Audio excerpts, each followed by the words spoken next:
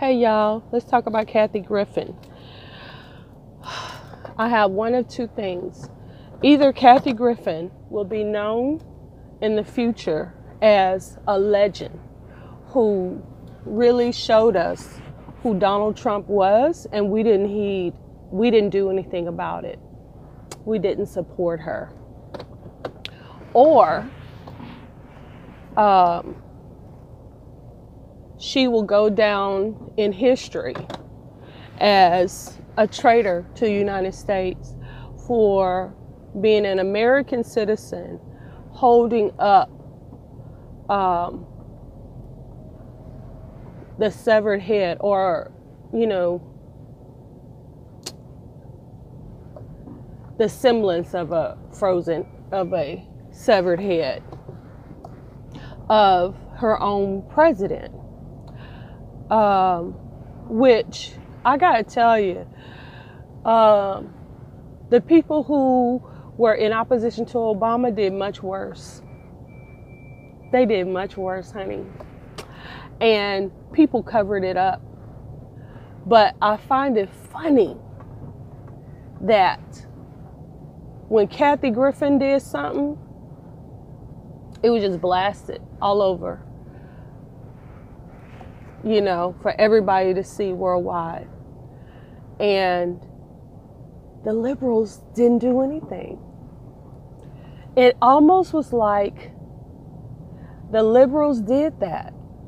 They protected the people who were disrespecting Obama by not publicizing their vitriol. But Kathy Griffin, they just put her on blast. Now, I don't know why, but I got a theory. Y'all ready for my theory? These crazy liberals run this here whole thing. Even the conservatives. But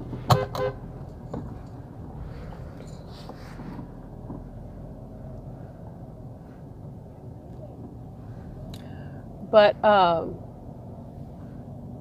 the thing about Kathy Griffin, Kathy Griffin been putting their behinds on blast.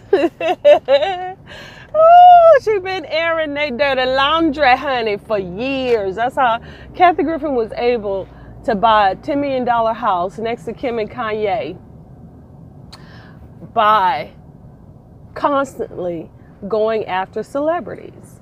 And the main reason why she went after them is because they didn't really support her whole deal. And the gays supported her, but the gays want the tea. The gays want the tea, honey. So Kathy gave it to him. She gave it to him. And the reason why Kathy had the tea it's because of this, honey, and not this. she was invited. she was invited to it because she's this and not this. Okay. I forget the person. There's a YouTuber who's always talking about that. What's his name? I can't remember his name. You know what I'm talking about. The one that be saying, "Is it me?" And oh Lord, I can't remember his name. I can see him, I just can't remember his name. Mm-mm-mm. He's gotten into all kind of arguments with other YouTubers and talking about this one lady smelling like fish. I can't. Y'all know who I'm talking about. I want to give him credit, but I just can't remember his name. but I remember his his uh, stuff, and I remember his. I'm not subscribed to him anymore. Actually, I haven't watched him in a long time. Um, I can't remember his name. I want to say it's got an F name to it, but I can't remember. Can't remember. So, into way.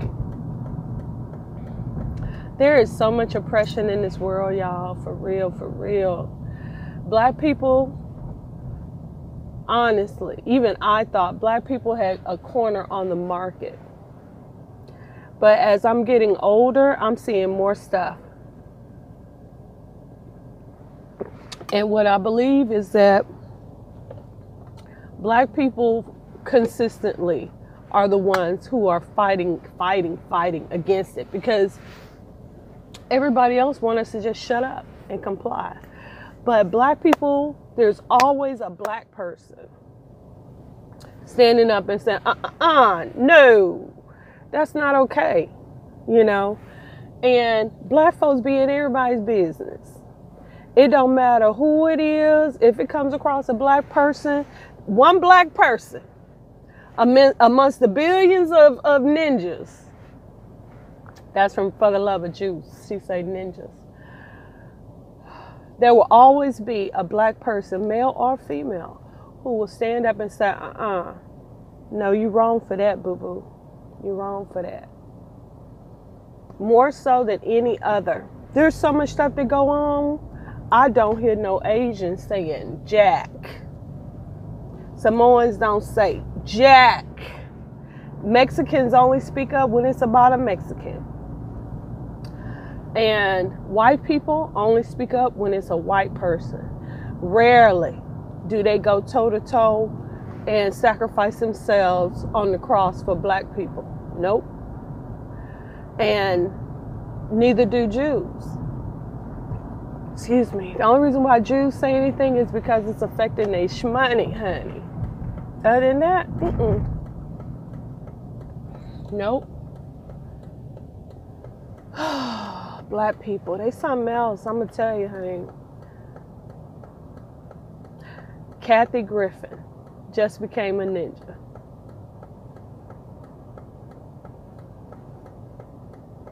Do you think she know? she been with her little young white boy for uh, eight years. He's 19 years younger than her. She's going on 60. And I believe that they have a deal that when she dies, she gonna leave him everything. Because he the only one. She says she don't hear from any Griffins at all. And he's gotten flack from his family, but he's hanging in there with her. So Kathy, I believe Kathy can live until she's 90, unless they unless they do her in. But if Kathy can die just naturally based on her organs and stuff like that, I think that she can live for a long time. And this young man, I'm sure he gonna want to have babies. I'm sure he want to have babies. And unless he has babies with an asshole, because I don't think Kathy gonna have no babies with him, they can adopt some children. But if he marries an asshole, children ain't gonna change that. You know who I'm talking about? You, you, you, you, you. You know who you are. I'm talking about you. Chose to marry an asshole into into bring an asshole into an already difficult family situation. And then you're going to have some children with that person, you's a damn fool. And whatever you got coming to you, it ought to come. Now, and the reason why I say that, this man, 19 years younger than Kathy, he has a choice of at least 45 women that he could choose to spend his life with.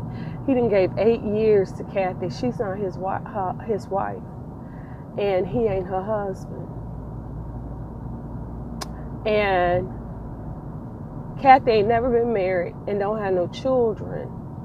So honestly, she could make him the sole inheritor of everything that she has, especially since her family has turned against her behind Trump. That's cool. That's cold, man. That's cold.